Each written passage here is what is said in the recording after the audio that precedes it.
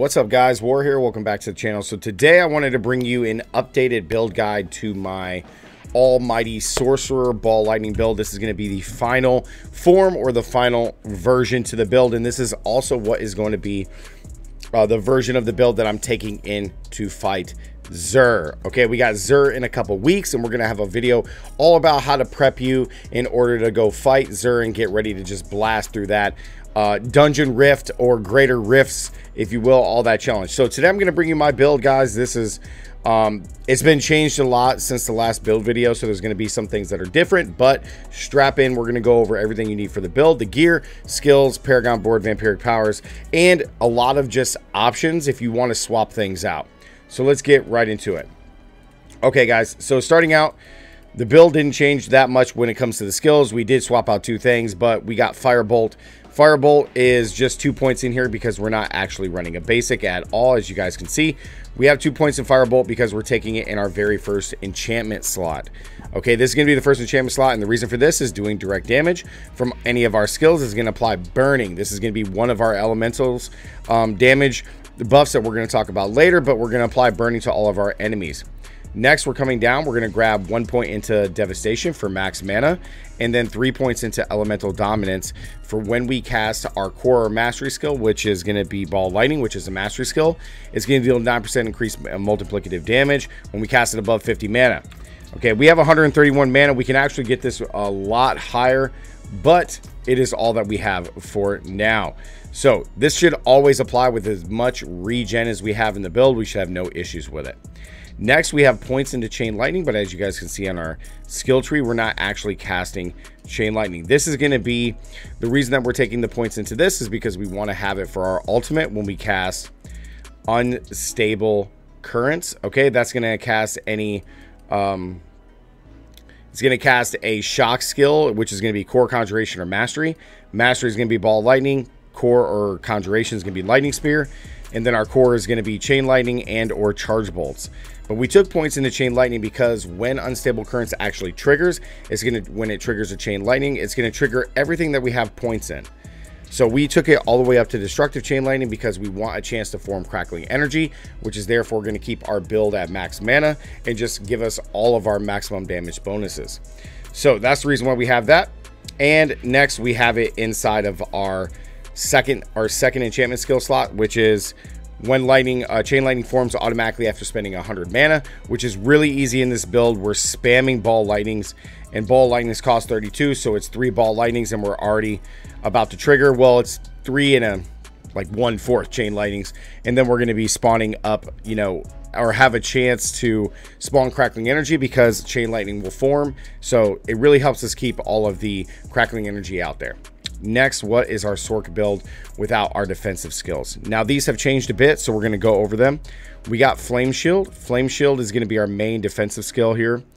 Uh, into Shimmering, this is going to heal us. However, if you don't have any issues with survivability, then I definitely suggest take, taking Mystical for the mana cost reduction so we can just spam our uh, Ball Lightnings even more. Next, we have Teleport into Shimmering Teleport for damage reduction. Main skill there. We got ice armor into enhanced ice armor. The reason for this is the increased mana regen as well as having a barrier. Barrier is going to be very important in this build. We'll talk about it later on in our gear pieces, but we 100% want a barrier at all times. Then we max out glass cannon here for even more damage. And then one into elemental attunement for on that lucky hit, we reset one of our three defensive skills. Hopefully it's always teleport or flame shield, but ice armor is just as good.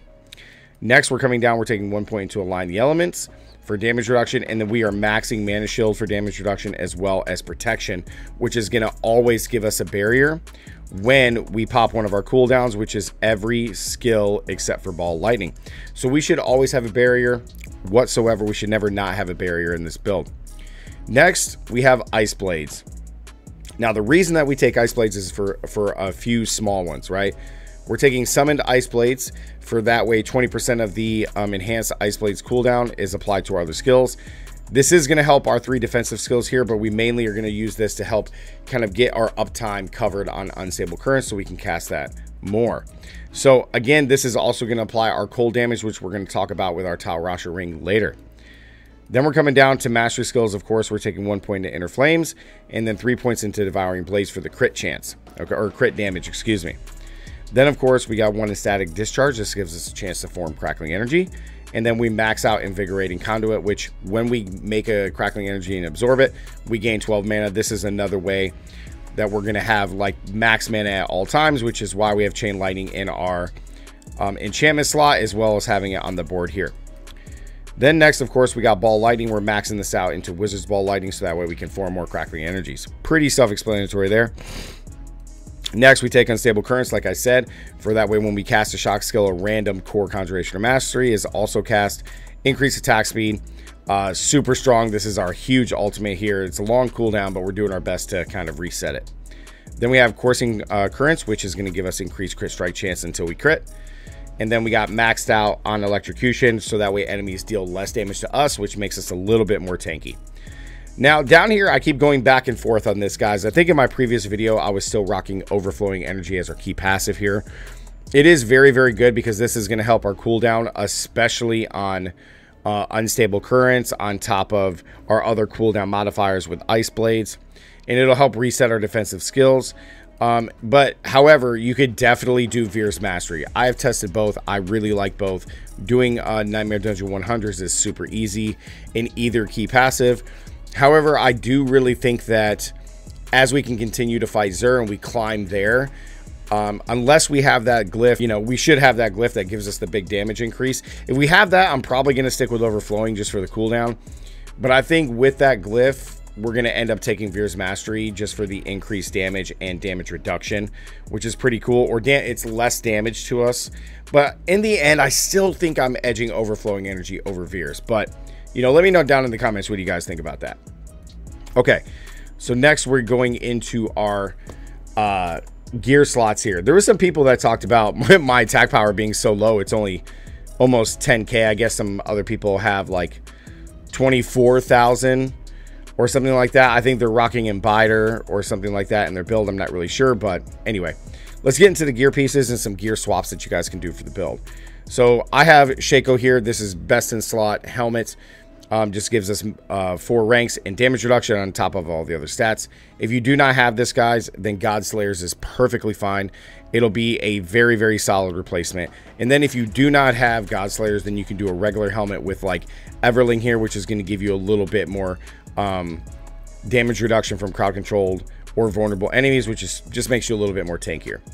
Then next we got our best in slot chess piece for Remnant of the Infinite. When we teleport, we stun them. Huge damage bonus here. Now, before we talk about the gloves, I'm going to go into Tibault's Will. This is a no-brainer. Every time we dash, we become unstoppable. And when we're unstoppable, we gain 50 max resource, which is going to help keep us at full. And then we deal increased damage. No-brainer here. Now, next into our boots, real quick, this is an easy swap here. I always go back and forth between having Ghost Walkers with extra ranks and teleport, or we end up taking Esu's for the increased critical strike chance. My critical strike chance is about 30%, and when I put these on, it goes up to roughly in the dungeon about 41, 42%, which is still pretty good, but I still crit pretty often here. Um, however, you could go for a 100% crit build with this and Elementalist, which is why we're going to talk about our gloves. Now, I have tested out a lot of different abilities for this Nightmare Dungeon 100 Zir, Abattoir of Zir um, build, and you have a lot of options here. So, me personally, I'm sticking with accelerating, and you're probably going, well, War, it says critical strikes with core skills increases your attack speed. You don't have a core skill on your bar. That's true. However, we do have our core skill in our enchantment slot. So every single time that not only do when we use unstable currents and we cast a chain lightning or a charge bolt, but when we spend enough mana to cast a, a chain lightning, if that cast makes that one crit, then we will get an increase in attack speed. This is huge because you need to be able to ramp up those ball lightning little energy orbs as fast as possible. And in certain dungeons, they fall off very quickly. If you're going through a doorway, they're going to fall apart. So I personally will be using accelerating. However, you have a lot of options here. Okay, you can do Edge Masters, you could do Elementalist for even more crit chance for 40% increased. You can do um, uh, what is it? Swell. Uh, what is it? Swelling. Oh god, what is that one? Swelling something. It's called. It's called swelling something where you end up doing increased damage to vulnerable enemies. I don't think I have one. Uh, you could also do control here. Totally up to you guys. You have a lot of options in here. Um, but yeah, I'm sticking with accelerating, but this is a major flex spot um, where you can really just kind of mix and match whatever that you guys want. So, but I'm sticking with accelerating. Uh, and then in, of course, in our main hand, we have gravitational, which is what's going to make the build work. And then we're doing um, Amulet of Disobedience. Now, I'm going to run over here real quick and show you why. You 100% need gravitational for the build. That's what makes it orbit around you. But we want disobedience inside of our amulet for a few reasons. I showcased this, showcased this uh, on another build just to kind of highlight it. But I, I want to tell you right now that you're going to gain so much armor. So having a 100% disobedience in here is going to give us about 5,000 armor. And you're going to see it right here as we go up. So we gain almost double armor at 100%. You see here, we max having that 10,000 armor is pretty insane with all things considered, especially for survivability with these upcoming dungeons. And because the base dungeon for Zir is a Nightmare Dungeon 100 and we go higher than that, we want max survivability. So disobedience in the amulet. Next, we are doing a Ring of Prodigy. Every time we use a cooldown, we restore uh, mana. Again, everything's a cooldown except for uh, Ball Lightning. Now, here's also another flex change if you guys feel like your mana is fine and you're able to sustain which whatever you're doing you don't want to keep it at max then you could also drop prodigies here and put um, elementalist in here is what i would 100% suggest you put elementalist in here you get the extra 40% crit chance when you cast above 100 which is pretty easy and even as you guys can see like when i'm just casting if i'm moving around my mana is always full and this does not include when i'm casting my cooldowns right so as I'm just gaining, so it's going to be really easy if you want to do Elementalist in this build and just have the increased uh, crit chance. Um, and then we have conceited. This is the other main reason why I talked to you about the barrier. We deal 25% multiplicative damage while we have a barrier. Again, we are always going to have a barrier from Ice Armor. And we are always going to have a barrier when we use any kind of our skills because of the protection passive. Now, our last and final gear piece, guys, is Tal Rasha's a brand new ring. For each type of elemental damage, you deal inc increase 15% multiplicative damage. Okay, and then when dealing elemental damage, it refreshes all the bonus. So just to recap, recap, I think it's 60%, but we can get this thing higher. Um, but the base that I have it currently at is plus 60% multiplicative damage.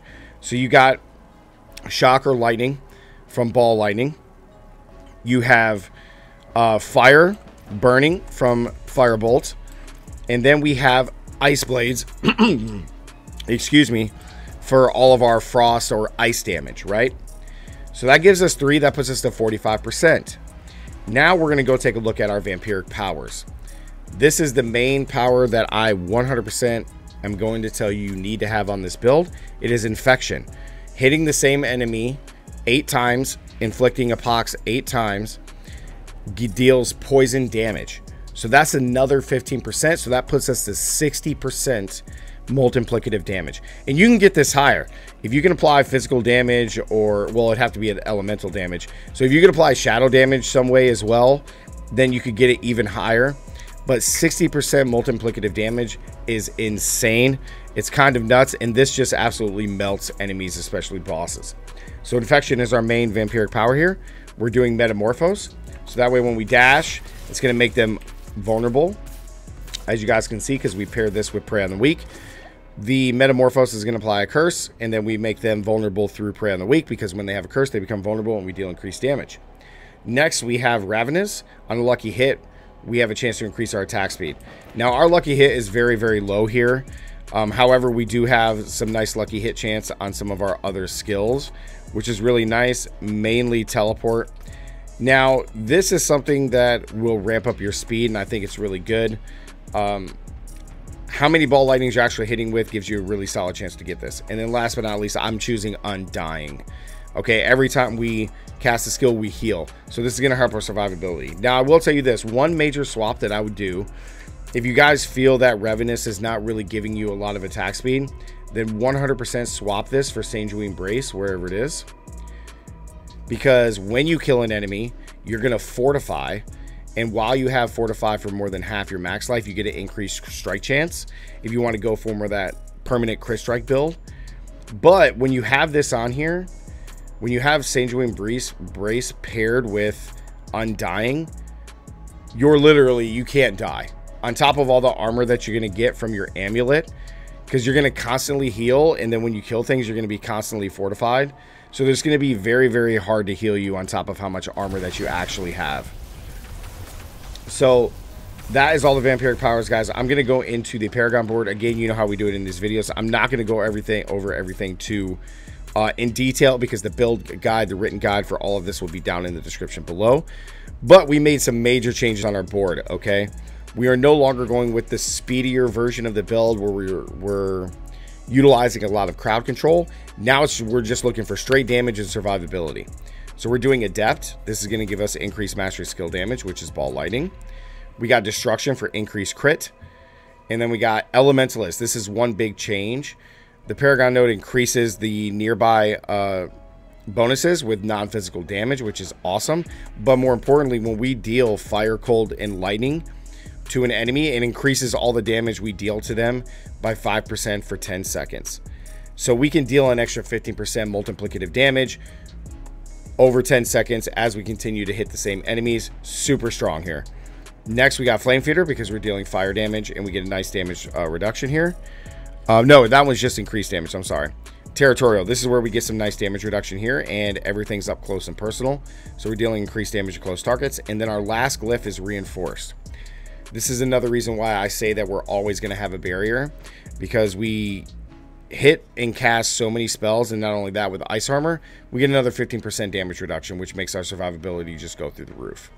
So that is the Paragon board, guys. Uh, the link to it will be all down in the description below. But this is what I'm going to be using for uh, Zir, the upcoming Zir event, and just trying to go through that and get as high as I can. And then also, I've just been using this to farm Nightmare Dungeon 100s. I actually just posted a video yesterday about me using this build, just going through and absolutely slapping, so make sure to check that out. Um, and yeah, guys, that's the build. So like the video, comment down below, let me know what you guys think. And as always, stay gaming. I'll see you guys in the next one. Peace.